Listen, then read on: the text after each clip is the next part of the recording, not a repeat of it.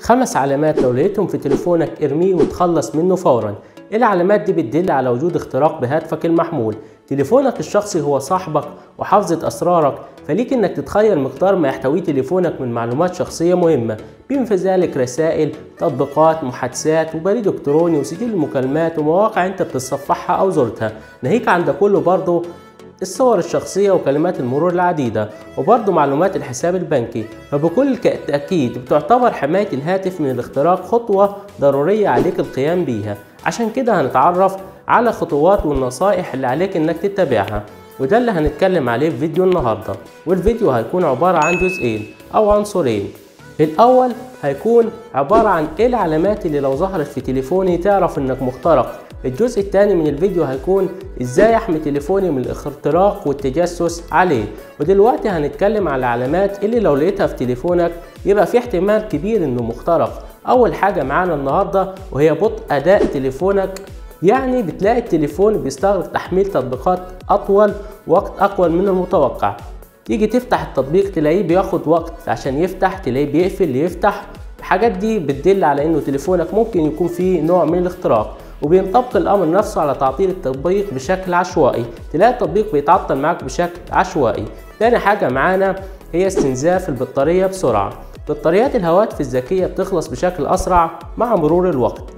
ولكن إذا حدث ذلك فجأة فده ممكن يكون بيشير إلى وجود برامج ضارة. ده عشان البرامج الضارة بتختفي سرا في الخلفية وبتمتص مزيد من القوة لتحقيق هدفها الضار.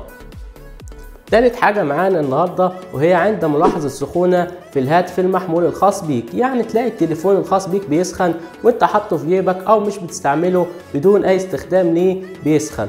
رابع حاجة معانا لو وجدت إن هناك بعض المشكلات ظهرت في جهازك المحمول زي تكرار تعطيل التطبيقات أو تشغيل الجهاز بشكل عشوائي وبيفتح بشكل عشوائي بدون تدخل منك أو عند تكرار فقدان الاتصال أو إشارة الخلوية. يعني لقيت الإشارة بتاعت الشبكة عندك بتختفي وبتيجي لوحدها.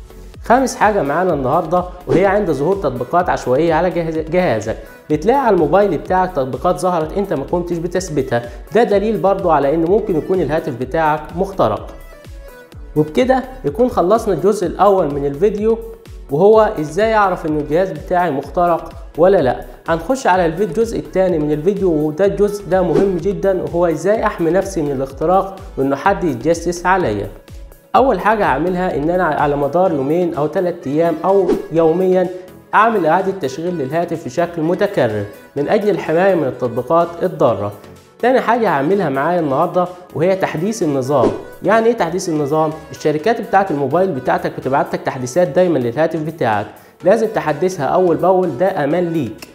تالت حاجة معانا إنك لازم تفكر كويس جدا قبل ما تدوس على أي روابط تتبعت لك عن طريق الفيسبوك أو الواتساب أو الجيميل أو أي مكان تاني. وفي ختاما في برنامج مهم جدا لازم إنك تتابعه معايا وتشوفه. وفي الحقيقة هو مش برنامج واحد هي عدة برامج لكن برنامج النهاردة بيهدف إلى حماية الهاتف من الفيروسات واللي بتمثل جدار حماية قوي لمعظم الطرق اللي بيستخدمها المخترقون. وهنعرض لكم أفضل البرنامج دي البرامج دي أنا بستخدمها شخصيا وهنعرض عليكم أفضل برنامج دلوقتي وإزاي نقدر نحمله ونشتغل عليه. التطبيق ده يا جماعة تطبيق مهم جدا لازم تتابع معايا شرحه بالتفصيل وطريقة تحميله وطريقة إنك تشتغل عليه إزاي. التطبيق ده هيقدر يكتشف لي البرامج الخبيثة أو التطبيقات الموجودة على الهاتف بتاعي المضرة بالتليفون بتاعي أو اللي بتتجسس عليا. هسيب لكم ال link بتاعه في أول تعليق مثبت هتلاقيه عندك أو تقدر تنزله عن طريق متجر Play بالاسم اللي إحنا هنشوفه ده قدامكم أهو. واسم التطبيق زي ما موضح قدامنا هو اسمه Malwarebytes التطبيق دي وده شكل التطبيق وده اسمه على متجر Play. لو مش هتنزله من اول تعليق مثبت اللي هسيب لك فيه لو حابب إنك تنزله من على متجر Play مباشرة هيبقى بالشكل والاسم اللي إحنا شايفينه ده. بعد ما نزلت التطبيق بتاعي هيبقى بالواجهة والأيقونة اللي إحنا شايفينها دي. هفتحه. بعد ما هفتحه هتفتح معايا الواجهة دي. هنتظر. لحد ما تحمل معايا وبعد كده هضغط على كلمة جيت ستارتد الموجودة باللون الأزرق الموجودة دي. هيبدأ يحولني للواجهة اللي إحنا شايفينها دي. ومن هنا لو لقيت العلامة دي باللون الأحمر لازم أفحص الجهاز فورا. عن طريق الضغط عليها هيحولني للواجهة اللي إحنا شايفينها دي. هعمل علامة صح على العلامة أول خانة فوق دي وهنزل للأسفل لحد ما ألاقي الجملة اللي إحنا شايفينها دي وهضغط عليها بالشكل ده. هيبدأ بقى يحولني للقائمة دي اللي هيبدأ فيها التطبيق بفحص جميع التطبيقات والحاجات الموجودة على الهاتف بتاعك. ولو في أي تطبيقات مضرة أهو بيعد معانا هيعرضها ليا ويقول لي زيلها بسرعة. وأي حاجات خبيثة موجودة على الهاتف بتتجسس عليا هيتم عرضها معايا.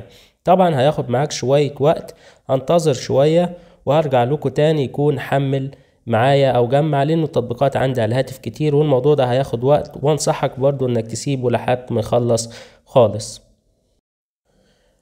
أهو مازال بيجمع معايا. وزي ما إحنا شايفين أهو اكتشف معايا برنامج ممكن يكون سبب في اختراقي أو الناس بتتجسس عليا من خلاله. طبعا هيعرض عليا التطبيق ده بعد ما يخلص تحميل نهائيا وهيقول لي اقترح عليا إن أنا أحذفه أو أشوف أنا هعمل فيه إيه. وبكده يكون الفيديو ده بتاعنا النهاردة انتهى. ما تنساش لو الفيديو عجبك تشترك معنا في القناة وتتابعنا وتكتب لنا أي تعليق لو عندك أي استفسار.